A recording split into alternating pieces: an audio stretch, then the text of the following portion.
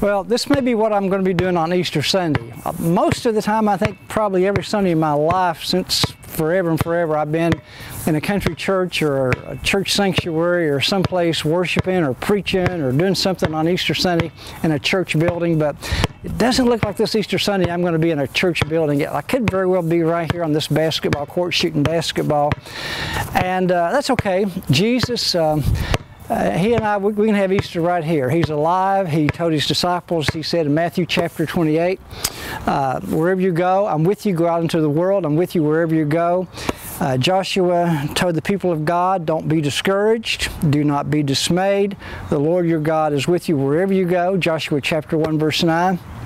So he is with us today uh, on this Monday or Easter Day or Good Friday, whatever day you're seeing this, if you're watching it on Christmas, whatever day you're watching this, the Lord is alive and he is risen. And there's a lot to be discouraged about. There's a lot to be in despair about. But there is much more to celebrate. And what we're celebrating today is the risen Jesus Christ who's overcome death, hell, and the grave. The grave is not the end. Uh, this life, uh, the cemetery is not the end. And there is more beyond. Now, I don't know if there'll be basketball in heaven or not. It may not be.